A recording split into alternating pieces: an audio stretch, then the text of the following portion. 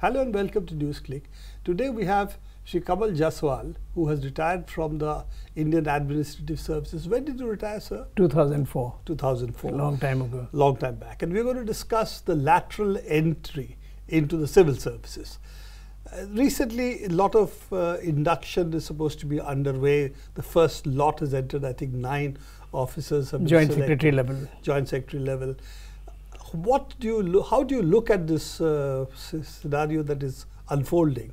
Is it, shall we say, graded? Uh, you know, few people joining specific to requirements that is there in the civil services the civil services may not have, or is it a change in fundamental policy with respect to civil services? I think it's been uh, made uh, quite clear by, by uh, Niti Aayog when this uh, first dose of uh, nine uh, induction of nine joint, se joint secretaries was uh, administered. Actually, it was 10, but then they took nine. Uh, uh that the intention is to uh, have a, a much uh, larger exercise going down to the middle management level. Up to deputy secretary? Up to deputy secretary director level.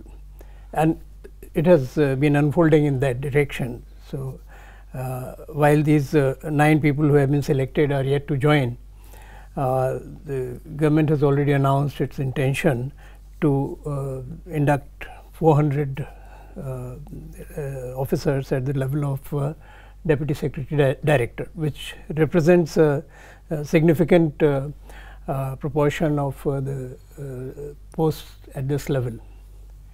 So it's it's uh, not uh, a symbolic uh, exercise. It's not a small undertaking. It's it's an extensive uh, overhaul virtually of the system of uh, induction. And also the how the civil services have been till the date yes. kept out, shall we say, of the politicization process by creating an independent and relatively insulated civil services. Unlike the United States, for instance, and this has been the two kinds of civil service, uh, shall we say, paradigms we have. One is called the spoil system, that whichever party comes in power, whoever is the president, reworks the entire civil services to suit his politics. And the British one, which kept the, shall we say, the civil services uh, insulated relatively from the political parties in power, expecting that the civil services will carry out whatever the political directions given by the government is. Yeah, this is how uh, in the popular mind it appears, but uh, the reality is different. In the US also there is a permanent civil service which uh, accounts for the uh, quasi totality of uh, the public servants in the US. A small proportion is open for what is called the spoil system. So, and in the UK, uh, it was just uh, uh, the kind of uh, civil service that we have in India today, uh, but things have changed in the UK. So, they also have a very significant induction of people from different walks of life at a higher level. So, nothing stays as it is and keeps evolving, but we seem to be frozen uh, in time and we are still following the Whitehall model uh, of the 19th century by and large. So, you feel that there is an argument there? There is a strong argument for uh, lateral entry, but uh, then it should be uh, it should not be a one off exercise. It should not be something which is uh, which is done in a knee jerk fashion. Uh, it is it has to be an integral part of the process and then it should answer certain uh, specific questions that are uh, arising from the way the civil services have been operating. And at the same time, we should also uh, look at the problems in the civil service which have uh, necessitated uh, resort to a measure like uh, lateral entry. Lateral entry has taken place in small measure out Yes, all along, earlier all also. along, all along, but at, at a very high level. And the Montek Singh Ahluwalia Yes. was, for instance, an example. Every, I think, starting from uh, is another one. Yes, uh, even uh, earlier, going back to the time of uh, uh, Lal Bahadur Shastri, V.V. Kurian, uh, Kurian was uh, inducted uh, to head the National Dairy Development Board, and the process continued uh, through successive uh, governments. You've been referring to private conversation, the second Administrative Reforms Commission, which had also suggested lateral entry. How does those recommendations differ from what is being sought to be done now? See, uh, as you say, uh, there are two uh, distinct models. One is of uh, a permanent uh, civil service where one ri- rises from the induction level to uh, the highest post that is available in the civil service. And the other is uh, a more open uh, position based recruitment system where people are inducted at the appropriate level uh, in a uh, in a way in which qualifications match the requirements of the job. So, uh, what the commission uh, suggested, the second uh, uh, administrative reforms commission suggested was uh, uh, a modification of uh, the uh, permanent civil service system uh, by incorporating certain features of uh, the position based system. So, Such as what are the so uh, the- they, they, suggested that a proportion of uh, uh, posts at the higher level, which is the higher administrative grade level, additional secretary and uh, above. In Not fact, uh, yeah, they should be they should be uh, open for uh, lateral entry, and that would uh, uh, have the uh, advantage of uh, induction of uh, uh, fresh blood, a new perspective, and domain experience. But then the focus was on making the civil services, the existing civil services, uh, the existing pool of uh, talent which is available in the civil service, uh, more effective and uh, uh, capable of uh, delivering the organizational objectives.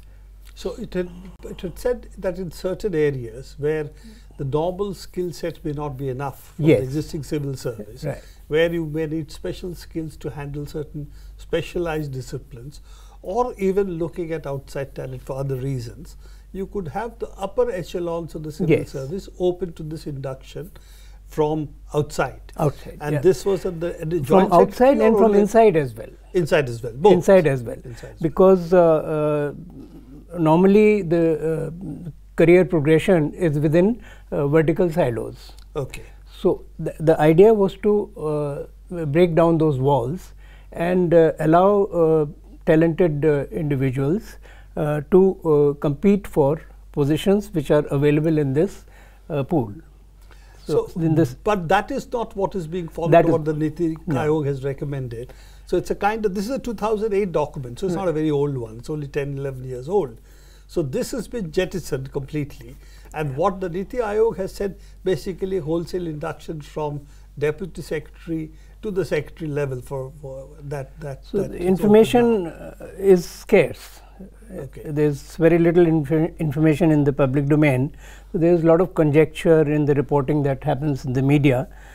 But uh, it appears uh, that uh, uh, after the induction of uh, uh, these uh, nine uh, joint secretaries, uh, the Niti Aayog has uh, gone about uh, uh, identifying 54 positions for induction within itself for meeting its own uh, needs. But then it, it is recognized that in uh, bodies like the Niti Aayog, the requirement is for uh, advisory uh, uh, personnel Personnel. by and large, uh, a staff function.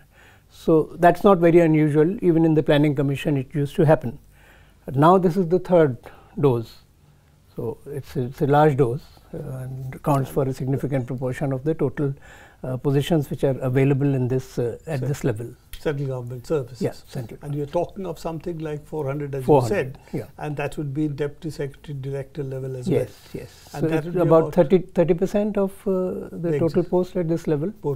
So one of course is a little constrain the number of people who can be promoted, particularly those who are filled traditionally from not the IAS uh, ranks or the IRS ranks, but from the lower ranks.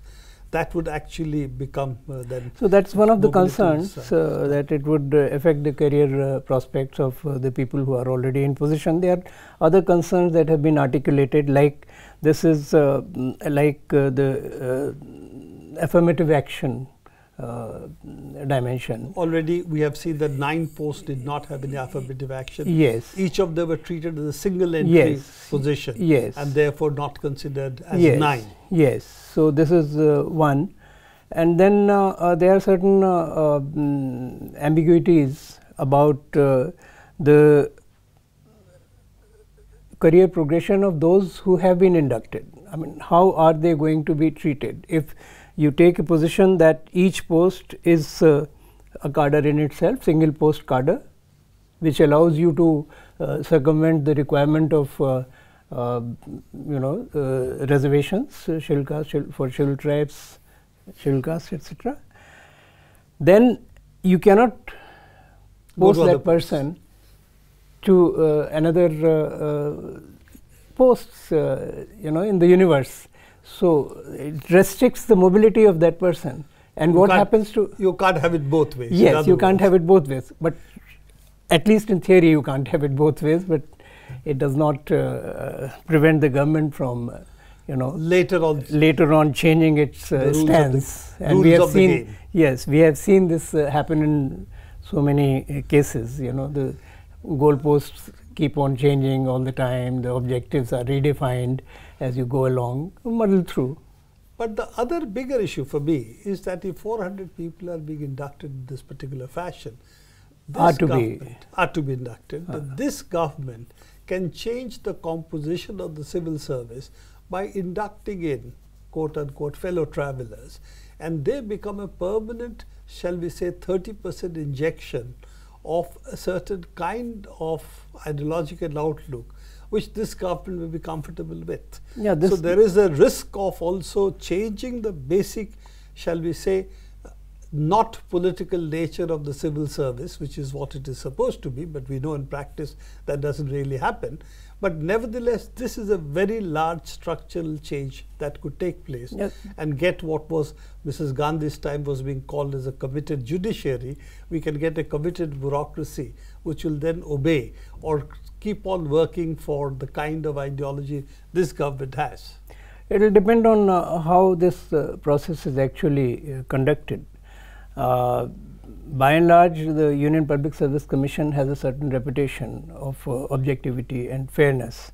And uh, uh, even in the times of uh, uh, Mrs. Gandhi, I think nobody ever said that the examinations, competitive examinations conducted by the UPSC were influenced so as to allow for entry of certain kind of candidates.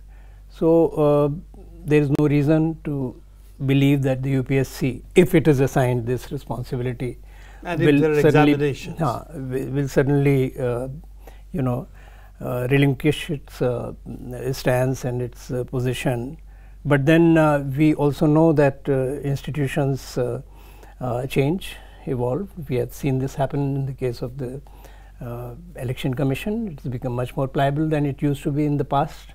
So one doesn't know, but this is a concern that has been articulated. But I think it will be unfair to uh, prejudge, and we'll see how uh, it actually uh, pans out. But objectively, there is a risk, There's a possibility. possibility. There's a possibility. And particularly as we do not know, this will be three, through civil service uh, examinations or it will be through other means. So we have to see Yes, what we is the how it is going to process of induction is Yes. done. Because the civil service is a very large process, therefore to influence it in micro sense is more difficult. But to influence say 100 at a time or 400 people may in theory Yes. be much Yes, easier to that possibility is there. and we could move to a quasi spoil system, but one of a kind because once inducted, they cannot be removed that easily. So that, that is also, also, not certain because uh, from whatever information is available in the public domain, the idea is to give uh, uh, con contractual terms to the inductees. But then, as I say, information is scarce. One doesn't know. One can't, uh, you know, hypothetically uh, assume that uh, it is going to be a particular uh, arrangement. So. so, while at the moment we cannot objectively speak about what's going to happen unless we have a crystal ball.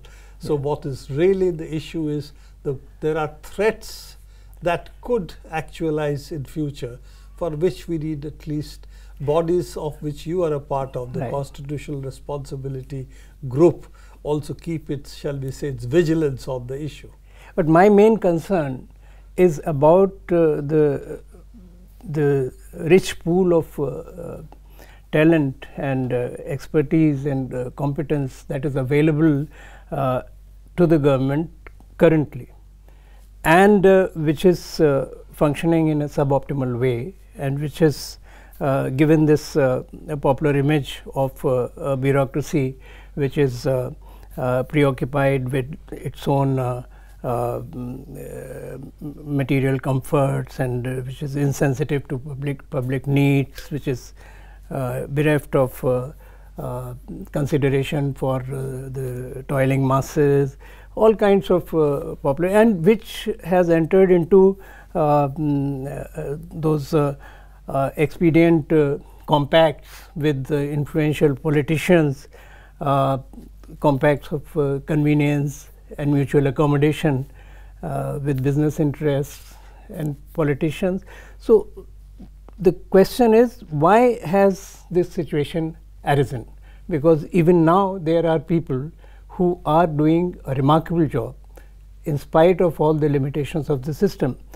And as we have seen that it is possible for them to uh, become once they are out of the system and go uh, to other organizations, multilateral organizations or abroad, then they become domain experts.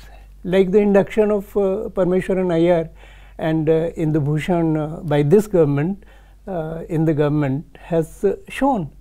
So, these are the people who are available to you and you are not using them properly. And then there is another concern that you go through this uh, process for the federal government, for the union government. What about the states? Because in the scheme of constitutional scheme of things, uh, most of uh, the uh, functions uh, are assigned to the state, state governments. So you cannot have, you know, one system for the union and uh, a different system for uh, uh, the states. So, the states have, have should, should have been a part of this exercise. So, together they should have evolved uh, a scheme and which, which should have which would should have factored in the recommendations of bodies like the second administrative reforms commission which came out with an excellent report uh, which is here uh, refurbishing on refurbishing of personal administration scaling new heights.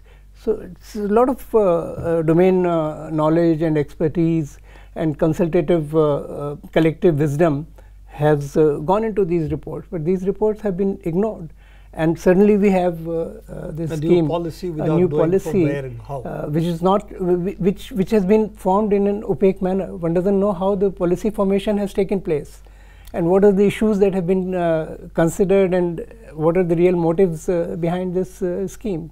You know, Mr. Jaswal, we used to say on the earlier reforms in the government that quite often the government tries to solve a problem that is not there, that they are solving a different problem than that exists. And therefore, we get two problems rather than one. Quite right. This is, seems to be another one of those, trying to solve a problem which does not exist and not addressing the problem that really does. Thank you very much, Mr. Jaswal, for being with us.